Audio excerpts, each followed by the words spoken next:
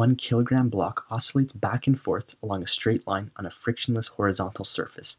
Its displacement from the origin is given by the following function. A. What is the oscillation frequency? B. What is the maximum speed acquired by the block? C. At what value of x does this occur? D. What is the magnitude of the maximum acceleration of the block?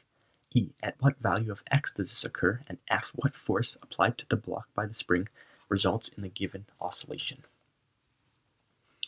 So I'm going to begin by writing down what we know.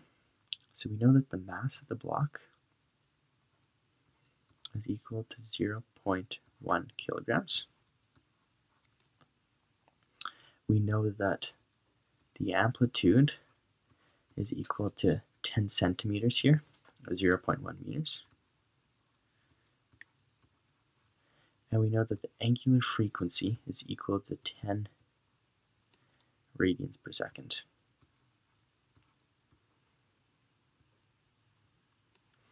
Which is this value right here.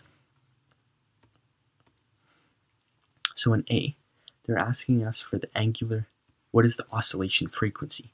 So we know that the angular frequency is equal to 2 pi times the frequency.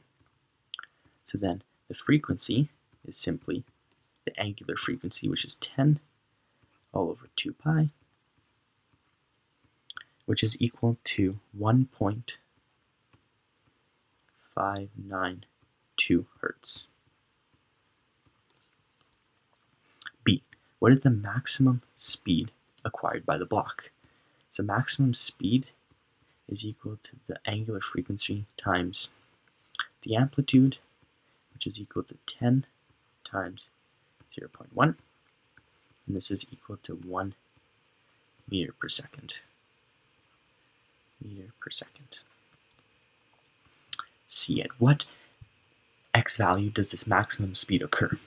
We know that the maximum speed always occur when there's zero displacement So this is at x equals 0.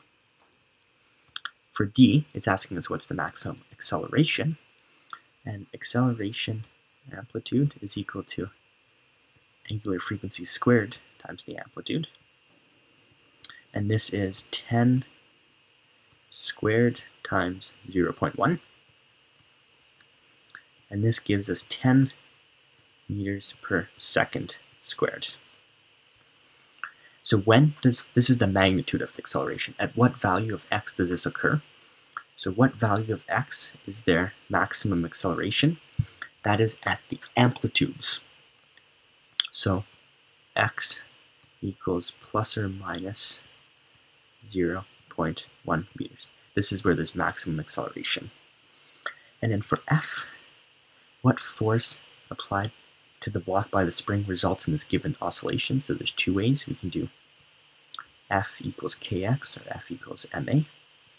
Just do ma is equal to 10 times 0.1. And this gives us 1 Newton of force applied to the block at the amplitudes to give this oscillation.